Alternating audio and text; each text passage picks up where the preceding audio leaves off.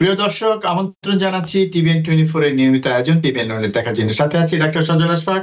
দর্শক, আপনারা জানেন যে আমাদের অনুষ্ঠানটি নিয়োগ থেকে সরাসরি সম্প্রচারিত হচ্ছে এবং এই অনুষ্ঠানে আমরা স্বাস্থ্য চিকিৎসা বিষয়ক বিভিন্ন প্রসঙ্গ নিয়ে আলোচনা করে থাকি এবং আমাদের সাথে থাকেন একজন চিকিৎসক এবং একটি বিষয়ের উপর আমরা কথা বলি। দর্শক, আজকে আমরা কথা বলব রোজা নিয়ে। রোজা এসে গেছে প্রায়। কাজে আমরা একটু রোজা এবং রোজার সাথে স্বাস্থ্যের কি সম্পর্ক এবং রোজা রাখার জন্য মানে অন্য কোন রোগ কোন অন্তরায় কিনা সেই বিষয়গুলো আজকে আমরা শুনতে চাইব। আমাদের আজকের অতিথি নিউ ইয়র্কের পতিত যশা cardiologist interventional cardiologist doctor Manzur Morshed. আসুন পরিচিত হই ডাক্তার মঞ্জুর মোর্শেদের সাথে। ডাক্তার মঞ্জুর মোর্শেদ আপনাকে স্বাগত জানাচ্ছি আমাদের আজকের আয়োজনে। ধন্যবাদ ডাক্তার সাদুল আশফাক ভাই আমাকে আমন্ত্রণ জানানোর জন্য এবং সেই সাথে সকল দর্শক বৃন্দকে অনেক অনেক সালাম এবং শুভেচ্ছা জানাচ্ছি। হ্যাপি রমাদান। জি হ্যাপি তো যেটা বলতে চাচ্ছিলাম যে আসলে স্বাভাবিকভাবে আমাদের কিন্তু রোজা যখন আসে, তখন কিন্তু বিভিন্ন ধরনের প্রস্তুতি চলে এবং সেই প্রস্তুতির মধ্যে অন্যতম হচ্ছে সেহরি এবং ইফতারের খাবার দাবার এবং আরও কিছু বিষয় থাকে। সেই প্রস্তুতিটাই বেশি আমরা দেখি এবং যাদের একটু স্বাস্থ্যগত সমস্যা আছে, তারা নানান কথা বলেন যে, আমার হয়তো রোজা রাখা হবে না, আমার হয়তো এই সমস্যা, সেই সমস্যা। এটাই আমরা শুনি। এই বিষয়গুলো একটু আলোচনা করতে চাই এবং কিছু ভুল ধারণা যদি থাকে, সেগুলো আমরা একটু আলোচনা করব। তো প্রথমেই আপনার কাছে জানতে চাই যে, যেহেতু রোজা আমাদের উপরে মুসলমানদের উপরে রোজা রাখা ফরজ, কাজে সেক্ষেত্রে আমরা যদি বলি যে, নিশ্চয়ই এটা মানে করার পিছনে নিশ্চয়ই কোনো কারণ আছে, নিশ্চয়ই এটা আমাদের জন্য ভালো কিছু। এবং সেক্ষেত্রে যদি অন্যান্য যেসব ভালো কিছু আছে, সেটা যদি আমরা বাদ দিই, আমাদের আত্মিক শুদ্ধি যেমন হয় ঠিক একইভাবে যদি শারীরিকভাবে নিশ্চয়ই আমরা উপকৃত হয়ে থেকে। সেটা যদি একটু বলেন যে আসলে এই রোজার মাধ্যমে আমাদের কি ধরনের শারীরিক শুদ্ধতা আমরা অর্জন করতে পারি? জি, খুবই সুন্দর প্রশ্ন, ধন্যবাদ আগে যে শুধু যে মুসলমান হিসাবে যে আমরা যে রোজা পালন করে থাকি শুধু সেটির কথা বলব না আল্লাহ রাবুল আলম যত কিছু আমাদের উপর ফরজ করেছেন সবকিছুই ভালো অবশ্যই ভালো আমাদের জন্য মঙ্গলকর অনেক কিছু রেখেছেন।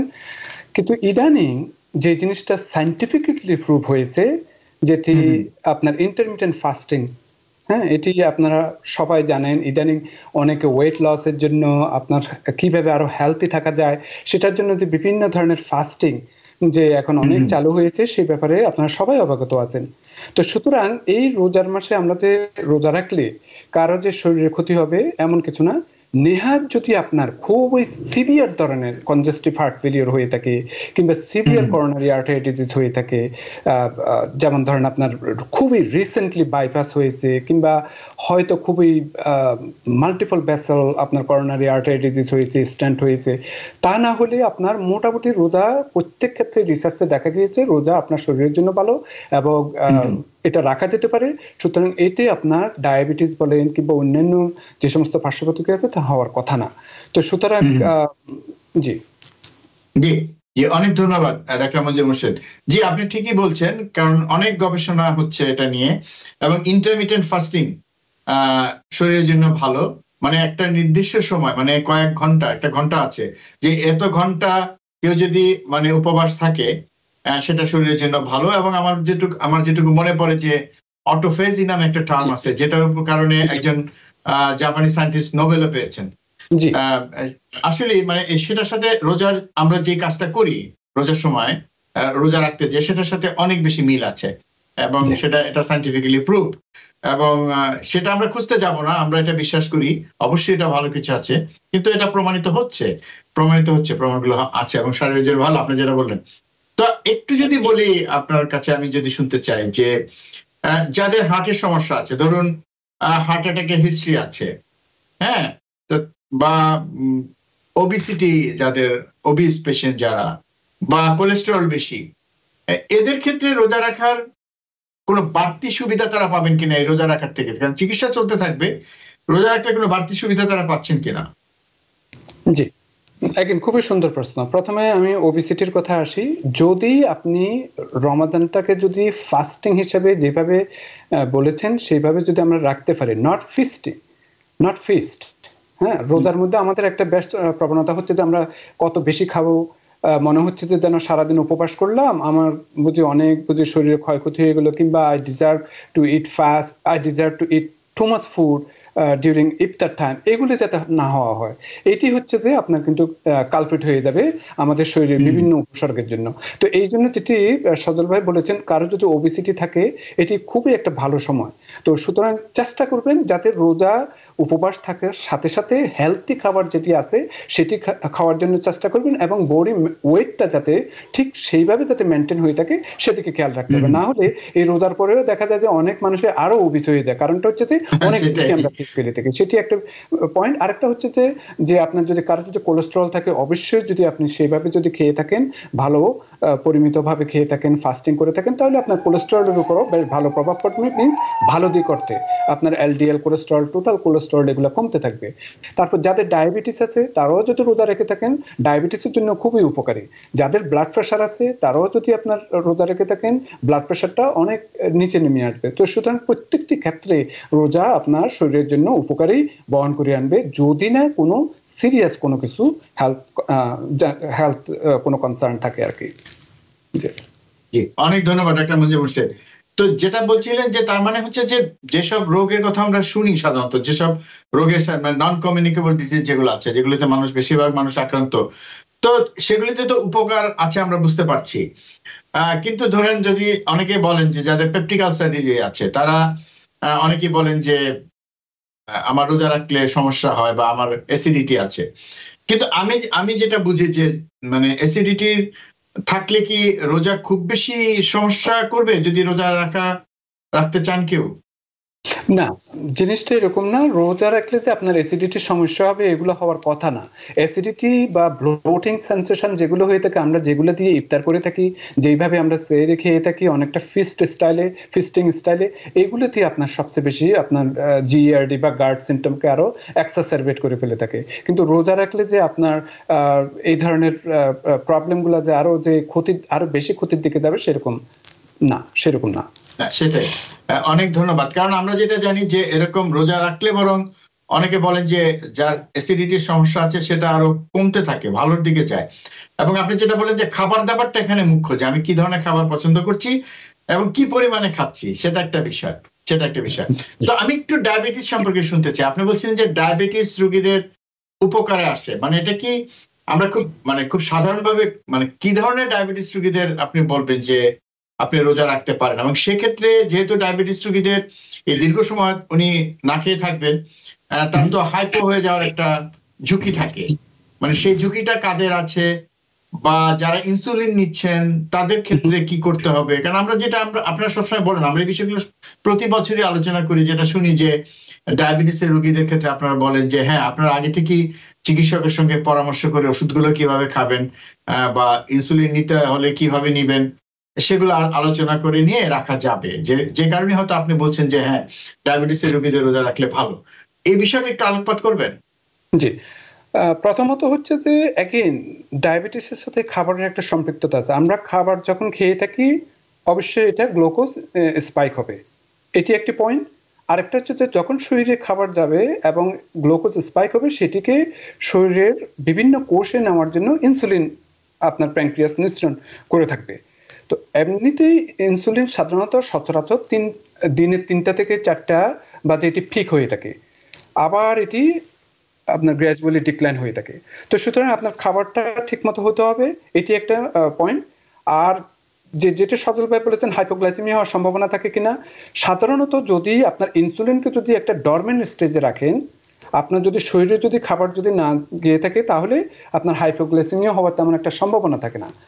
যে সমস্ত ওষুধে আপনার হাইপোগ্লাইসেমিয়া করে থাকে যেমন আপনার ইনসুলিন কিংবা গ্লাইবুরেট এই ধরনের যদি ওষুধে যদি আপনার হাইপোগ্লাইসেমিয়া করার সম্ভাবনা থাকে কিংবা গ্লুকোজ কমানোর সম্ভাবনা থাকে ওই সমস্ত ক্ষেত্রে আপনার এটি অ্যাডজাস্ট করার চেষ্টা করবেন। আপনারা আপনাদের প্রোভাইডারের সাথে আলাপ করবেন তবে সিম্পলি আপনাদেরকে বলে থাকি যে সাধারণত আপনার ইফতারের সময় আপনি ফুল ইনসুলিনটা নেবেন কিংবা আপনার ওষুধগুলো ঠিকমতো খাবেন আর সেহরির সময় আপনার সকালের দিকে তখন একটি অ্যাডজাস্ট করে নেবেন। মিনস ফুল ইনসুলিন যেভাবে নিতেন, সেভাবে কম নেবেন।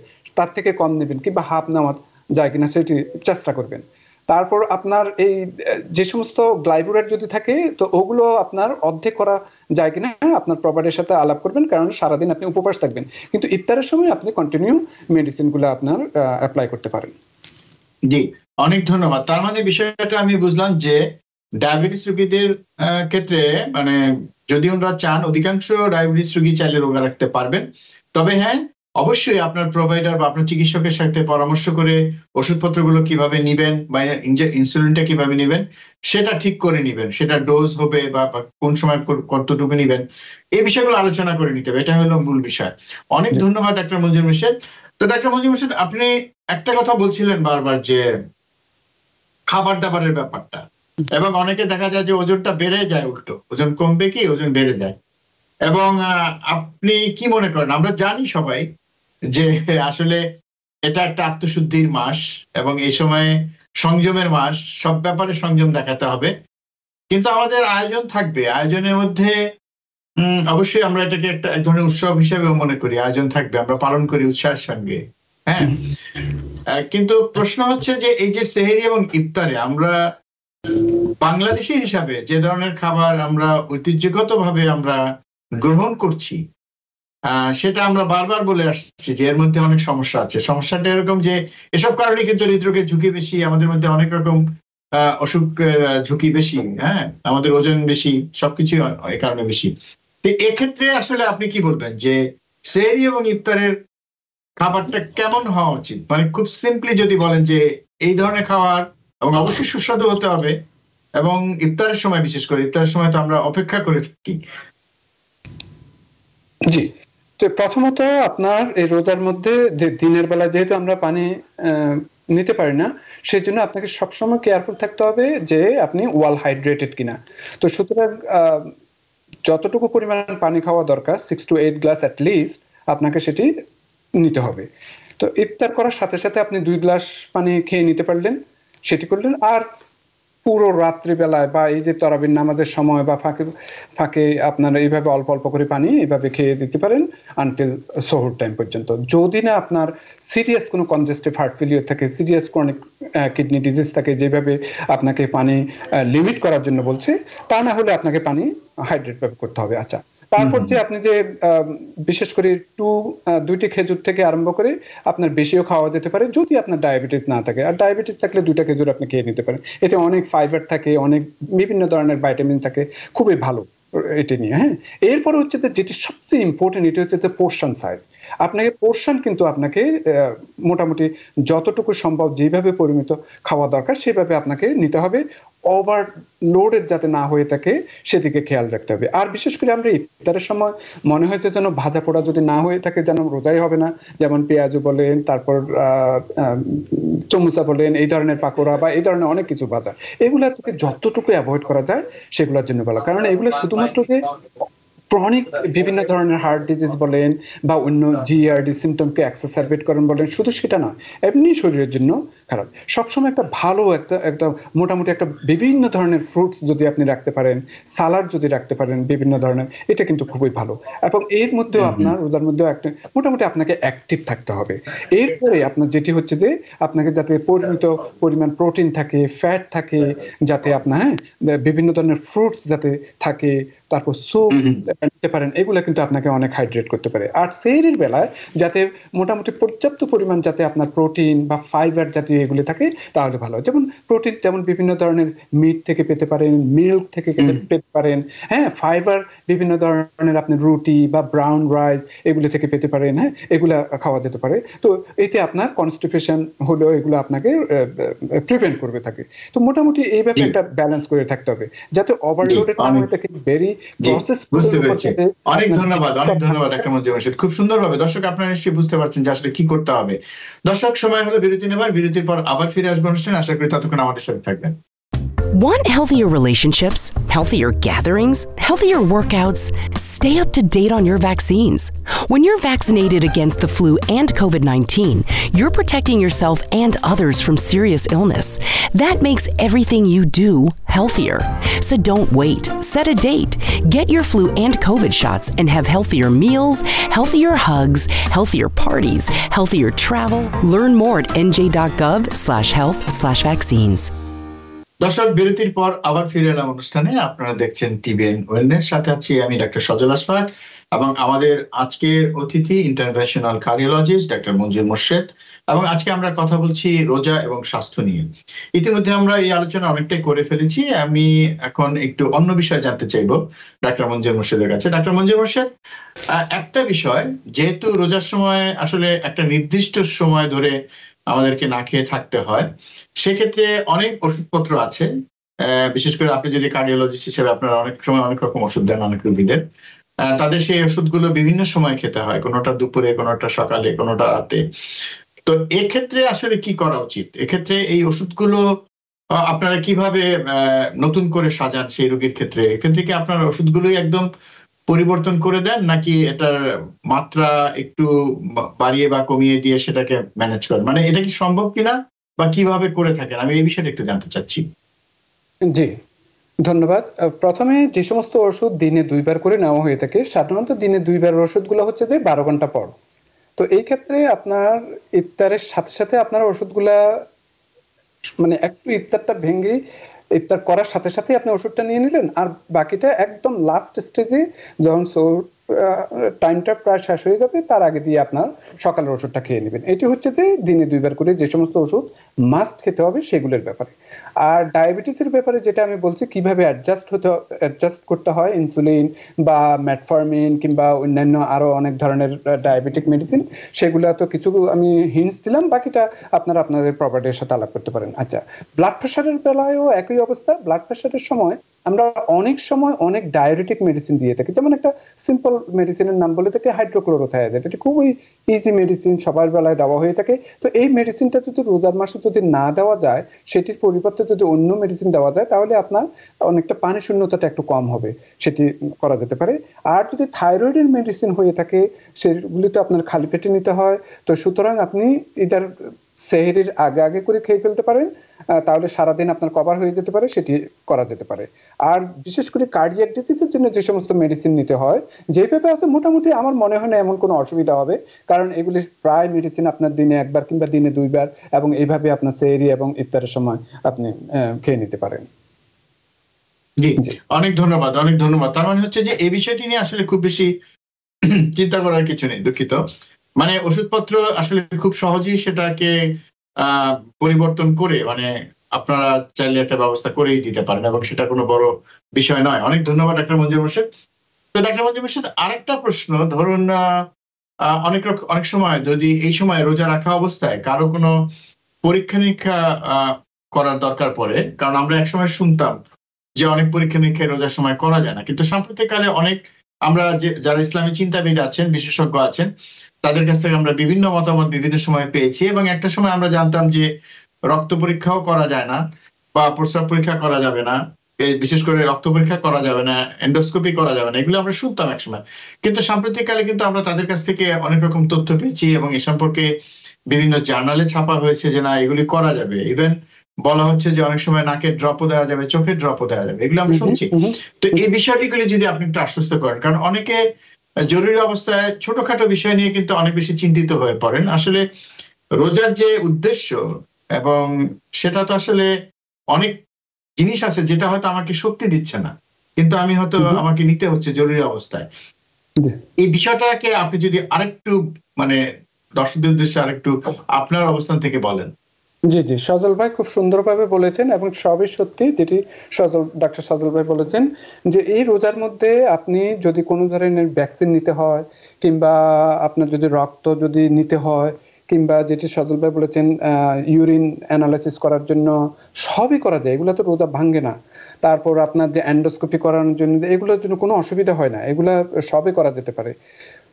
মারাত্মকভাবে যদি ব্লিডিং হয়ে থাকে এক্সেসিভ ব্লিডিং যেটি সাধারণত সচরাচর হয় না এবং ওই সময় খুবই ক্রিটিক্যাল কন্ডিশন থাকে এনিওয়ে তো সুতরাং এছাড়া মোটামুটি সবই রোজার মধ্যে করা যায়। সুতরাং ঘাপটানোর কোনো কারণই নেই।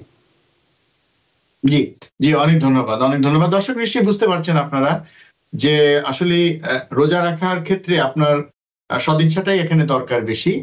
হ্যাঁ অবশ্যই আপনি যদি অনেক বেশি অসুস্থ থাকেন তখন তো আসলে রোজা রাখা যাবে না। সেটা ডাক্তার মঞ্জুর মুর্শিদ শুরুতেই বলেছেন যে অনেক ক্ষেত্রে রোজা রাখাটা আসলে যদি না যায়, তো অসুস্থতার কারণে চিকিৎসা নিতে গিয়ে যদি আসলে সম্ভব না হয়, সেক্ষেত্রে অবশ্যই চিকিৎসকই বলবেন যে, না, আপনার জন্য রোজা রাখাটা ভালো হবে না। কিন্তু অন্য অবস্থায় কিন্তু আপনি চাইলেই রাখতে পারেন। এবং এ বিষয়ে আপনাদের যদি কোনো প্রশ্ন থাকে, আপনারা কিন্তু আমাদেরকে প্রশ্ন করতে পারেন। আমাদের নাম্বারটি আপনার স্ক্রিনে দেখতে পাচ্ছেন six four six three zero seven nine eight two eight তো আপনাদের ফোনের অপেক্ষা আছি আমরা শুরু থেকেই। তারপর আমরা আলোচনা যাচ্ছি আজকের অতিথির সঙ্গে আবারও। ডাক্তার মঞ্জুর মুর্শিদ, আরেকটা কথা যে আপনি যেটা বলছিলেন যে রোজার সময় আমরা মানে যেমন ফাস্টিং যেমন করব এবং স্বাভাবিক কর্মকাণ্ড করব, এ সময় ব্যায়াম করার ব্যাপারে আপনার কি ধরনের সাজেশন মানে কি ধরনের ব্যায়াম করা যায়? আমরা অনেক সময় শুনি বিভিন্ন বিশেষজ্ঞ বিভিন্ন ভাবে বলেন। তা মোটামুটি যেটা আমি যেটা ধারণা পেয়েছি আপনাদের কাছ থেকে, যে সবাই ব্যায়ামটাকে উৎসাহিত করেন, সেটা যে মাত্রাই হোক। আপনি যদি কার্ডিওলজিস্ট হিসাবে বলেন, যে আপনাদের তো অনেক রোগীকে আপনারা নির্দিষ্ট ব্যায়ামের কথা বলেছেন, তো উনি তো রোজা রাখবেন, ওষুধপত্র পরিবর্তন করেছেন, রোগী রোজা রাখছে, এবং রোগী, রোগীটা আগে থেকে সুস্থ ছিল, তার ব্যায়ামের কি হবে? জি জি, খুবই সুন্দর প্রশ্ন। ব্যায়াম করতে কোনো অসুবিধা নেই। প্রবলেমটা হচ্ছে যে, যাতে আগে যেরকম আপনি স্ট্রেনাস এক্সারসাইজ করতেন, অনেক ব্যায়াম করলে যেরকম ঘাম জোরে পড়বে এবং আপনি খুবই পিপাসার্থ হয়ে যাবেন সেই রকম ব্যায়াম করতে এই রোজার মাসে একটু নিষেধ করি। সাধারণত এক্সকিউজ মি সাধারণত আপনার ব্রিস্ক ওয়াকিং বলেন, তারপর মডারেট এক্সারসাইজ বলেন, এগুলো সবই করা যেতে পারে।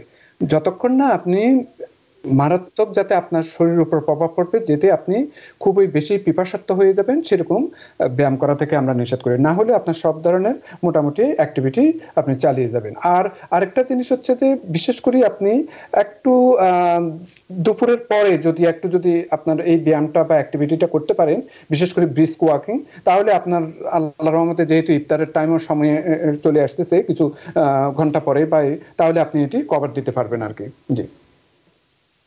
অনেক ধন্যবাদ অনেক ধন্যবাদ ডাক্তার মুজিব হোসেন তো এটা তো আমরা মোটামুটি ভাবে একটা আলোচনা করছি, আমরা শুনতে পাচ্ছি মানে বুঝতে পারছি যে আসলে কি করতে হবে। আপনি খাবার দাবারের পরে বলেছেন আমরা যেসব ভাজা পোড়া খাই সেগুলো এড়িয়ে যাওয়ার কথা বলেছেন।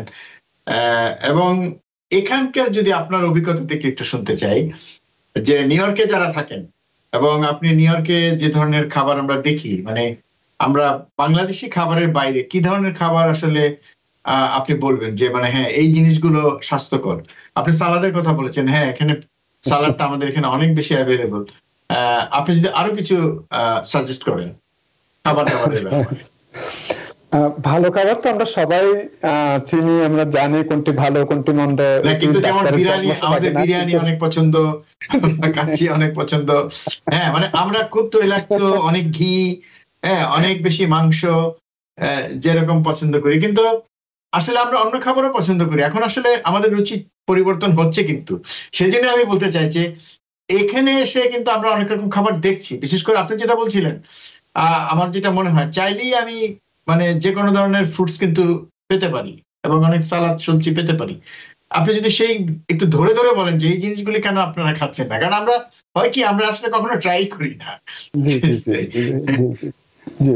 প্রথমত প্রথমত তো হাইড্রেশনের কথা আমি বললাম এবং এই হাইড্রেশনটা হতে হবে ধরেন আপনার বিভিন্ন ফ্রুট জুস হতে পারে ফ্রেশ ফ্রুট কোনো অ্যাডেড সুগার না, তারপর কোনো ধরনের সফট ড্রিঙ্ক না এই ধরনের থেকে আপনার কাট ডাউন করতে হবে। তারপর আবার অনেক সময় আমরা দেখি কি সচল ভাই অনেকে আবার সারাদিন কফি খেতে পারি না টি খেতে পারি না মনে হয় যেন একটু খেলে হয়তো শরীরটা চাঙ্গা লাগবে। হ্যাঁ খেতে পারেন কিন্তু অ্যাগেইন ক্যাফিনেটেড ড্রিঙ্ক কিন্তু আপনার খুবই ডায়াবেটিক করে থাকে। আপনাকে অনেক বাথরুমে সহায়তা করবে। শরীর থেকে অনেক পানি চলে যাবে। তো সেদিকে একটু খেয়াল রাখবেন, যাতে অতিরিক্ত না হয়ে থাকে বলব না যে একদম খেতে পারবে না, কিন্তু অ্যাভয়েড করতে পারলে ভালো। ক্যাফিনেটেড ড্রিঙ্কসগুলো আর কি, যে কোনো ধরনের সুগারের ড্রিঙ্কসগুলো অ্যাভয়েড করতে পারলে ভালো। তারপর আপনি যদি একটু ভেজিটেবল বা ফ্রুটস এর প্রতি যদি বেশি জোরদার করেন, যেমন সেভেন সার্ভিং যদি ফ্রুট যদি আপনি প্রতি ইফতারের সময়, ইফতার থেকে শহর পর্যন্ত যদি খেতে পারেন, সেটি আপনার কনস্টিপেশন বলে ব্লোটিং সেন্সেশন বলেন, এগুলো আপনাকে বেশ উপকার দিতে পারে। তারপর যদি একটু দই রাখতে পারেন, বিভিন্ন ধরনের ইয়োগর বিশেষ করে গ্রিক ইয়োগর। এগুলোর দিকে আপনি খেয়াল রাখতে পারেন। স্যুপটা হতে পারে। স্যুপটা আপনার হাইড্রেশনের কাজ করলেও পেটকেও আপনার অনেকটা ফিল করে ফেলবে। সেটি আপনি করতে পারেন। হ্যাঁ তো এইগুলো আপনার করতে পারে। Avoid deep fry food as much as possible জানি না এটা আমরা সম্ভব হবে কিনা কিন্তু তারপরে যদি আমি আমার বলার আছে বলব যে অ্যাভয়েড ডিপ ফ্রাইং ফুডস এগুলোর দিকে খেয়াল রাখতে হবে। তো মোটামুটি আবার যে যে রোদা রাখছেন, যে একদম যে আপনি সারাদিন শুয়ে বসে বসে শুধু ভিডিও দেখলেন কিংবা ইয়ে করলেন, সেরকম না। অ্যাক্টিভিটির মধ্যে থাকবেন। রোদাটা শুধুমাত্র যে শুধুমাত্র উপবাস যে তা না। তো এই আর কি এগুলির দিকে একটু খেয়াল রাখতে হবে। Want healthier relationships, healthier gatherings, healthier workouts? Stay up to date on your vaccines. When you're vaccinated against the flu and COVID 19, you're protecting yourself and others from serious illness. That makes everything you do healthier. So don't wait. Set a date. Get your flu and COVID shots and have healthier meals, healthier hugs, healthier parties, healthier travel. Learn more at nj.gov slash health slash vaccines. আমার মনে হয় কি doctor মঞ্জুর মুর্শেদ মানে আমি আমি জানি না আপনার অভিজ্ঞতা কীরকম। আমি দেখেছি যে একটা সময় হয়তো আমরা অনেক বেশি খেতাম ইফতারিতে এবং সেইরিতে এবং পরবর্তী যে একটা অস্বস্তি সেটা কিন্তু আসলে খুবই খারাপ অবস্থা হয়ে যায়। মানে পরের দিনের রোজা এবং তারাবির নামাজটা পড়া যাবে কিনা এরকম একটা মানে ঝুঁকিতে পড়ে যায় যে আসলে শরীরটা এত খারাপ হয়ে যায় বেশি ইফতারি করার কারণে। এটা কিন্তু আমরা দেখি। এবং পাশাপাশি এটা আমি দেখেছি আমি অন্তত আমার নিজের কথা বলতে পারি যে ইফতারে বিশেষ করে ইফতারে কম খেয়ে পরবর্তী সময়টা কম খাওয়ার কারণে পরবর্তী সময়টা যে কতটা ভালো কাটে হ্যাঁ এবং সেটা কিন্তু আসলে আসলে এটা প্র্যাকটিস করলেই বোঝা যায়। আমি জানি না আপনার অভিজ্ঞতা কি। এটা এটা আসলে আপনার দর্শক আপনারা কিন্তু চেষ্টা করে দেখতে পারেন। আপনারা ইত্যাদিতে আপনার পছন্দের খাবারটাই খাবেন কিন্তু পরিমিত খাবেন। অনেক বেশি খাবেন না। এবং ডাক্তার মঞ্জুর সাহেব বারবার একটা কথা বলছেন যে হাইড্রেটেড থাকতে হবে। আপনার শরীর যেন পানি স্বল্পতায় না ভোগে। এটা একটা বড় বিষয়। সেই জন্য ইফতারের পর থেকে একটু একটু করে পানি খেয়ে যেতে হবে। তো এই পানি স্বল্পতা হলো কিনা এটা বোঝার কি কোনো উপায় আছে? আমরা অনেক সময় শুনি যে প্রস্রাবের রং দেখে বুঝতে পারবেন। এরকম কোনো বিষয় কি আছে? জি জি জি। আছে অনেক ধরনের যেটি আপনি বলেছেন প্রস্রাবটা একটু হলুদ বর্ণ হয়ে যাওয়া বা একটু জ্বালা পড়ার ভাব লাগা মনে হচ্ছে যেন ইউরিন ইনফেকশন হওয়া সেটি হতে পারে। মেজাজটা একটু খিটখিটে হয়ে যেতে পারে। একটু হালকা হালকা মাথা ব্যথা লাগতে পারে। তারপর ইরিটেবলের কথা তো আমি বললাম। তারপর একটু ফ্যাটিকনেসটা লাগতে পারে। এই ফ্যাটিকনেসটা যে আপনি শুধু যে ফাস্টিং করতেছেন সেটির জন্য না আপনার পানির শূন্যতার জন্য হতে পারে। এই ধরনের অনেক সিমটম দেখা দিতে পারে। আর তাছাড়া চামড়াটা অনেক কুচকে যাওয়া কিংবা আপনার যদি কারোর যদি চোখ দিয়ে যদি মানে বলব না যে কান্না করার জন্য কিন্তু যখন কেউ যদি কান্না করে চোখ দিয়ে পানি যেন আসতেছে না এগুলো কিছু সিমটম আর কি। তারপরে ইউরিন আউটপুটটা কমে যাওয়া এই আর কি এগুলি। বুঝতে পেরেছি। তার মানে ধরুন আমার যদি বিকেল বেলা মনে হয় যে আমার প্রস্রাবের রংটা হালকা হলুদ হয়েছে এবং ইফতারি করার পরে আমি প্রচুর পানি টানি খেলাম তারপরে যদি দেখা যায় যে না সেটা ঠিক হয়ে গেছে তাহলে তো আমার মনে হয় যে চিন্তার কিছু নেই। না না। সেটাই সেটাই। মানে এই বিষয়গুলি আসলে আপনি মানে ক্যাফিনের কথা বলছিলেন। হ্যাঁ অনেকেই সকালবেলা চা কফি খান সেটা এখন সম্ভব হচ্ছে না। সেক্ষেত্রে আমরা অনেকেরকে কমপ্লেন করতে শুনি যে রোজার দিন সকালে যে কফি খাওয়ার অভ্যাস ছিল বা চা খাওয়ার অভ্যাস ছিল, সেটা না খাওয়ার কারণে সকালবেলা একটু মাথা ব্যথা হচ্ছে। অনেকের এটা হয়। এবং আবার এটাও সত্যি আপনি বলেছেন যে এই ক্যাফিন কিন্তু প্রস্রাবের পরিমাণ বাড়ায়। কাজে কেউ যদি এটা সেহরির সময় খায়, কিন্তু সেহরির সময় একটু করে কফি বা চা খেলে কি খুব বেশি সমস্যা হবে? আপনি কি বলেন? না না না খুব বেশি যারা যারা সাধারণত কফি বা ড্রিঙ্ক চা খেয়ে থাকেন সেটি খেতে পারেন অসুবিধা কিন্তু ব্যাপারটা হচ্ছে যে মানে অতিরিক্ত যাতে না হয়ে থাকে আগে যেমন ধরেন কথার কথা দিনের বেলা আপনি তিন কাপ খেতেন কিংবা দুই কাপ খেতেন সেই জায়গায় আপনি এক কাপ খান এখন। বলব না যে একদম বন্ধ করে দিতে হবে। আর যদি মনে করেন যে যে এক কাপ আগে খেতেন যারা তারা এখন খাচ্ছেন না যদি সম্ভব হয়ে থাকে ভালো। আর না হলে মোটামুটি মানে পরিমিত পরিমাণে খাওয়া যেতে পারে আর কি। সেটাই সেটাই। কিন্তু এই যে সকালবেলা যে হেডেকটা হয় মানে সেটা কি তো কি চলে যাবে তো আস্তে আস্তে? নাকি এটা একটা শরীর তো একটা অ্যাডজাস্ট করে নিবে নাকি কি বলেন? জি জি যে এখন মানে এটা নিয়ে চিন্তার তো কিছু নেই। অনেকে খুব চিন্তিত হয়ে পড়েন যে এত মাথা হয়তো আপনার স্লিপিং ডিস্টারবেন্সের জন্য হতে পারে। হ্যাঁ আমাদের তো এই রোজার মধ্যে একটু স্লিপিং এরও একটু সমস্যা হয়ে যায়। যেহেতু আমাদের সেহরির সময় উঠতে হয় আবার অনেক তারা বিপরে অনেক রাতে ঘুমাইতে হয় এদিকে আর কি। তো খেয়াল রাখতে হবে যে যাতে পরিমিত আমরা স্লিপটা যাতে হয়ে থাকে মোটামুটি চেষ্টা করব আর কি যাতে স্লিপটার দিকেও খেয়াল রাখতে পারি যাতে হাইড্রেশনটা ঠিক থাকে। এগুলি হলে মোটামুটি আশা করা যায় যে হ্যাডেক হওয়ার কথা না। আর যদি দুই একদিন হয়ে থাকে ইনশাল্লাহ আশা করা যায় যে আল্লাহ রহমতে ভালো হয়ে যাবে। সেক্ষেত্রে আসলে আমরা যারা নিউ ইয়র্কে থাকি আমাদের তো আর অফিস আওয়ার চেঞ্জ হচ্ছে না। সেক্ষেত্রে বাংলাদেশে তো অফিস আওয়ার চেঞ্জ হয়। হ্যাঁ যে একটু পরে অফিস শুরু হয়, এক ঘণ্টা পরে, কিন্তু আমাদের এখানে হচ্ছে না। তো এই অবস্থা বিবেচনা করে আপনার কোনো সাজেশন আছে কিনা? না, তারপরেও আমি বলব যে সহুরটা খাওয়া বেটার স্কিপ না করলেই বেটার এটা কারণ এতে সারাদিনের যে রোজার যে ক্লান্তিটা থাকে, এটি অবসান হয়ে যাবে। আর তাছাড়া সুন্নতের দিক দিয়ে আছে তো, সেটা তো আছেই। এরপরও আপনাকে সেটা ইয়ে করতে হবে। আর যতটুকু সম্ভব আপনার হয়তো অফিস আওয়ারের পরে যদি সম্ভব হয়ে থাকে যদি সামান্য একটু স্মল যদি ন্যাপ নেওয়া যেতে পারে যদি সম্ভব হয়ে থাকে আমি জানি না। তো এইভাবে কিছুটা কভার দিতে হবে আর কি পুরো দিনের স্লিপটা যাতে মোটামুটি seven to eight hours at least স্লিপটা যাতে আমরা আমাদের হয়ে থাকে। এগুলোর দিকে খেয়াল রাখতে হবে আর কি সেটাই এটা একটা বিষয়। আর একটা বিষয় আমি একটু ধরিয়ে দিতে চাই। আহ, সেটা হচ্ছে যে যারা স্মোকার আপনি কি মনে করেন, এই যে তাদের যে প্রাইম টাইম যে সময়টায় তারা বেশি ধূমপান করতেন, সেই সময়টায় তারা যদি রোজা রাখেন, এটা কি তাদের এই মানে সিগারেট ছাড়ার ব্যাপারে কোনো সহযোগিতা করতে পারে এই অভ্যাসটা?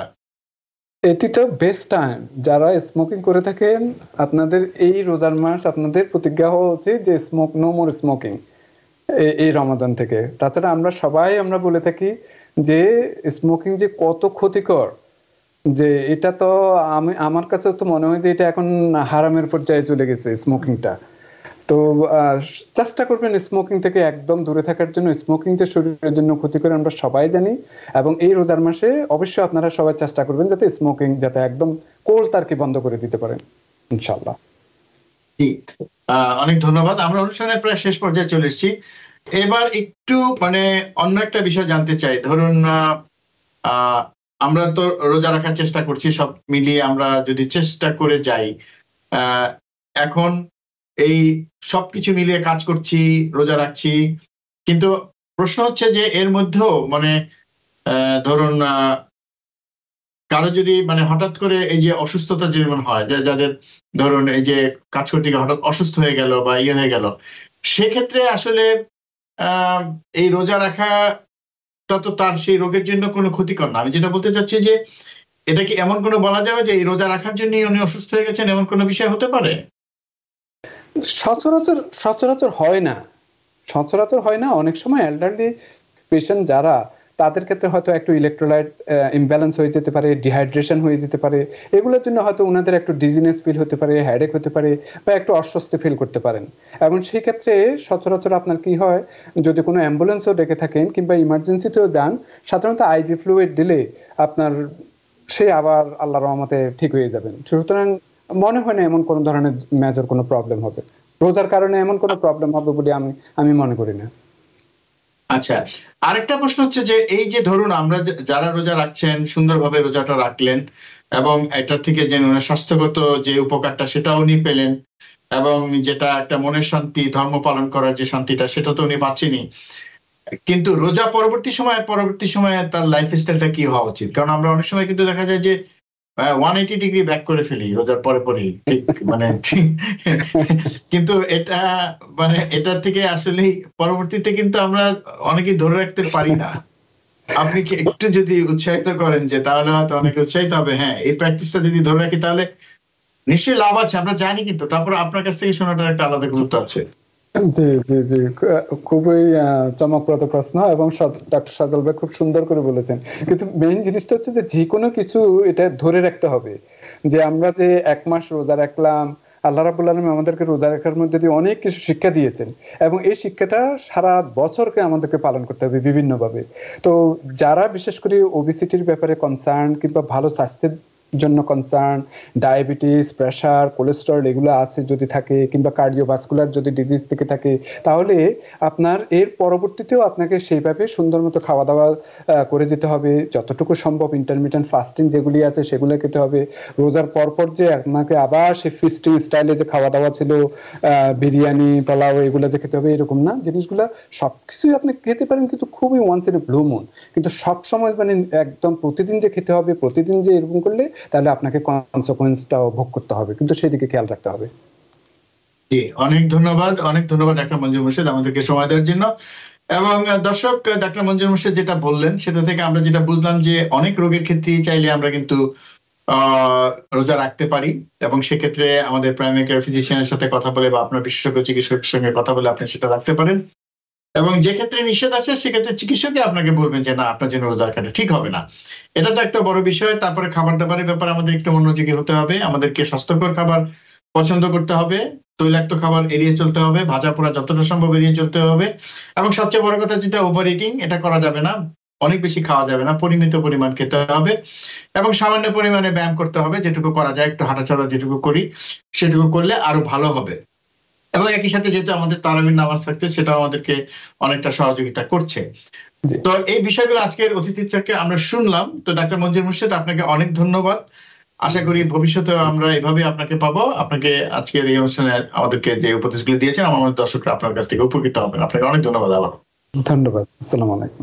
দর্শক এতক্ষণ যারা আমাদের সাথে ছিলেন আপনাদেরকে বলি যে এই যে রোজা রাখার পরে আমরা যে উপকারটা পাবো এটা কিন্তু আপনারা অনুভব করতে পারবেন। যারা রোজা রাখেন তারা কিন্তু বুঝতে পারেন এই রোজা রাখার কারণে আমার কি কি শারীরিক উপকার আমি পেয়েছি সেটা কিন্তু বোঝা যায়। কাজে সেটাকে ধরে রাখতে হবে এবং তার মধ্যে যদি কিছুটা হলে আমরা ধরে রাখতে পারি, সেটা কিন্তু আমাদের শুধু যাদের স্বাস্থ্য সমস্যা আছে তাদের না, যারা আমরা সুস্থ আছি তারা আরেকটু সুস্থ থাকার জন্য কিন্তু সেই নিয়মগুলো যদি একটু একটু করে মেনে চলি, তাহলে কিন্তু আমাদের কিন্তু ভবিষ্যতেও ভালো হবে। এবং প্রত্যেকটা অসুখের ক্ষেত্রে যে কথাগুলো বলা হয় নিয়ন্ত্রণের জন্য যে জীবনযাত্রার পরিবর্তনের কথা বলা হয়, রোজার মাধ্যমে কিন্তু আমরা সেই জীবনযাত্রার পরিবর্তনকেই কিন্তু আমরা গ্রহণ করছি। কাজে এই অভ্যাসটা যদি আমরা ধরে রাখতে পারি, অবশ্যই আমাদের এটা ভালো হবে, আমরা আরও ভালো থাকতে পারব, সুস্থ থাকতে পারব এবং যতদিন বাঁচবো, সুস্থভাবে বাঁচবো, এটা তো নিশ্চয়ই আমরা সবাই চাই। সবাই ভালো থাকবেন, সুস্থ থাকবেন। আগামীতে আবার দেখা হবে অন্য কোনো বিষয় নিয়ে।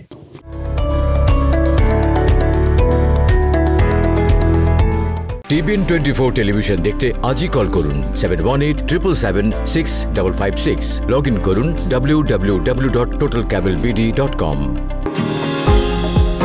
New York থেকে সম্প্রচারিত টিভিএন টোয়েন্টি ফোর টেলিভিশন, বিশ্বজুড়ে বাঙালির কণ্ঠস্বর।